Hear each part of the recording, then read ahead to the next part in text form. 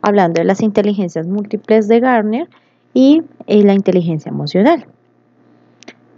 Bueno, entonces eh, Garner em, ha contemplado una serie de características que hacen que la persona, eh, digamos, tenga más de una habilidad para desempeñarse. Así que les invito a que vean este video para que ustedes puedan, eh, digamos, de manera autónoma revisar cuáles son los planteamientos del autor.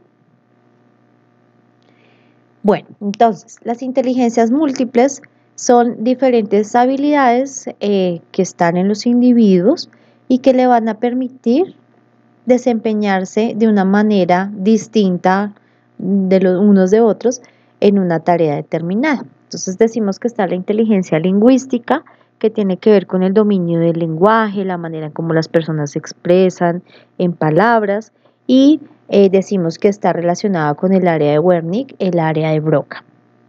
La lógica matemática tiene la capacidad de la persona de mirar las relaciones, de mirar abstractamente lo que se le propone. Allí se relacionan con los lóbulos parietales izquierdos y el área de asociación temporal y occipital contiguas. La naturalista es la capacidad para reconocer y categorizar los objetos naturales, saber qué es eh, un objeto inerte, eh, conocer las piedras, por ejemplo y este se relaciona con el hemisferio derecho. La musical, la capacidad para interpretar piezas sonoras, rítmicas, escucharlos, disfrutar de la música, se relaciona con el hemisferio derecho, lóbulo temporal y frontal. La inteligencia visoespacial muestra cómo la, persona puede de alguna manera visualizar con eh, precisión y transformar y modificar el mundo físico, sin que esté el estímulo, ¿listo? Y se localiza en las regiones posteriores del hemisferio derecho.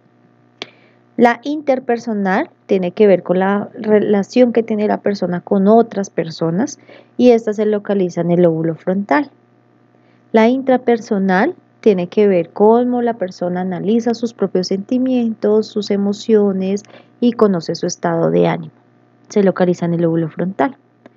La corporal sinestésica es cuando la persona puede ejecutar movimientos de manera coordinada, eh, no tiene dificultad motriz alguna, por ejemplo, eh, se localiza en el cerebro, ganglios basales, la corteza motriz.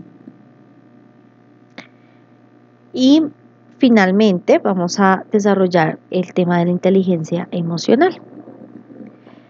Bueno, entonces decimos que las emociones son unos patrones de comportamiento instintivo que son adaptados a diferentes situaciones. Estos comportamientos tienen una activación fisiológica y pues de alguna manera hacen que uno em, esté alerta o esté tranquilo o dependiendo de la situación en la que se enfrenta. Por ejemplo, si ustedes están en un lugar oscuro, eh, en donde seguramente hay un peligro inminente, pues lo que se va a producir es una emoción de miedo e huida. Mientras que si la situación es tranquila, no hay mayor estrés, ¿cierto? Entonces se busca, seguramente va a estar más relacionada con la alegría. Los seres humanos utilizamos diferentes mecanismos para afrontar pues, las situaciones que se avecinan. Y pues obviamente esas respuestas eh, tienen que ver con las exigencias sociales y culturales. Algunas culturas, por ejemplo, no se permite el trato afectuoso, la manera cálida de expresarse, ¿cierto? Sino más bien vamos a utilizar un término eh, coloquial y es que son parcas.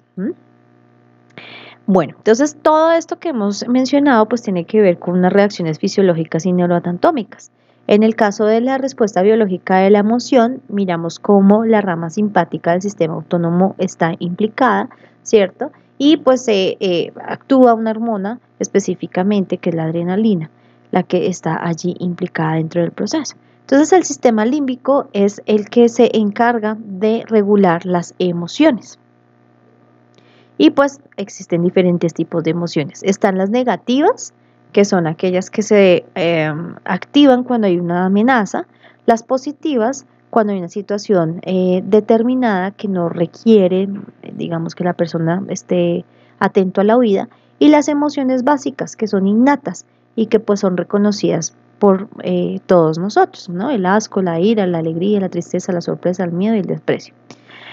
Dentro de esto se ha eh, dividido la, la, comprensión de la inteligencia emocional en dos tipos de modelos. Están los modelos mixtos, en los que se interactúan las dimensiones tanto personales como automotivantes eh, para la regulación de las emociones, y hay un modelo de habilidades que son aquellas que eh, el individuo empieza a experimentar y las comprende para comprender las emociones, para mirar las diferencias individuales.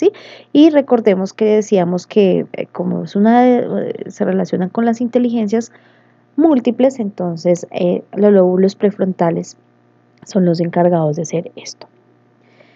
Dentro del modelo de las habilidades encontramos a Meyer y Solovey, quienes plantean que la inteligencia eh, emocional es una inteligencia social que incluye un conjunto de capacidades que explican diferencias individuales de la manera de percibir las propias emociones y las de otros. ¿Listo?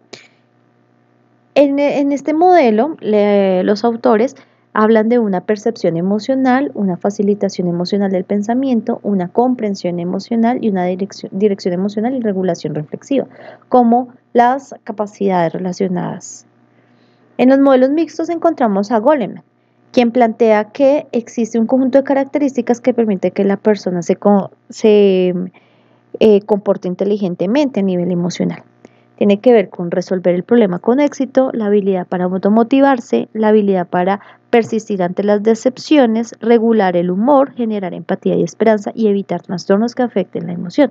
Son estas las características las que permiten mostrar que una persona es efectiva a nivel emocional. Entonces, tenemos que este autoconocimiento tiene que relacionarse con la, ah, conciencia emocional, la manera como la persona eh, se percibe a sí mismo y pues esto le va a ayudar para también comprender la expresión de otros. La autorregulación tiene que ver con el autocontrol, la adaptación al medio y esas habilidades sociales finalmente contribuyen al manejo de conflictos, eh, la manera en que lideran un, un proceso, etc. Y la motivación tiene que ver con el compromiso y la iniciativa que la persona tiene y mantiene durante el tiempo. El modelo varón también se incluye dentro de estas teorías y decimos que para él este tipo de mm, em, eh, sí, eh, la, perdón, la inteligencia emocional tiene que ver con un conjunto de competencias y habilidades eh, que determinan cómo el individuo se entiende a sí mismo, comprende a otros, logra expresar sus emociones y afrontar las demandas de la vida diaria. Entonces él habla de una inteligencia intrapersonal que tiene que ver con lo que la persona percibe de sí mismo o conoce de sí mismo. Por eso hablamos de autoconciencia, la asertividad, la autoestima, la autoactualización e independencia. La interpersonal tiene que ver con otros. Entonces hablamos de procesos como la, de habilidades como la empatía, las relaciones interpersonales, las responsabilidades sociales. Otro tiene que ver con la adaptación, cómo la persona logra solucionar los problemas, la gestión del estrés, que está relacionado un poco con eh, la manera como se regulan los impulsos y logra la persona manejar sus estados emocionales y el humor, que está relacionado con la felicidad y el optimismo.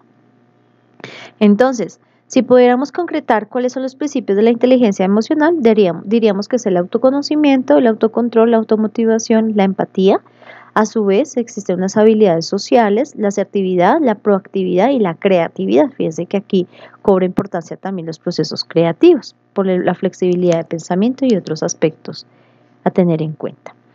Pongo eh, un ejemplo de lo que ustedes plantearon en sus entregas, en donde estábamos mirando si sí había habilidad emocional o no. Em, digamos que la manera en como ustedes lo, representaban era muy diciente porque podíamos ver aspectos como el autocontrol, eh, el autoconocimiento, la empatía, sobre todo las habilidades sociales, porque claramente dentro de estos contextos que ustedes plantearon, pues eh, había un otro, ¿no? Entonces ahí hablamos de las capacidades tanto intrapersonales como interpersonales que están eh, cobrando importancia en estos procesos de eh, inteligencia emocional.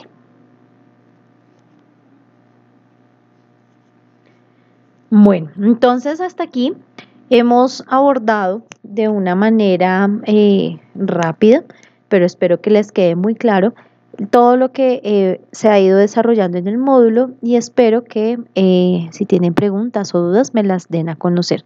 Muchas gracias por la atención prestada y estaré muy pendiente.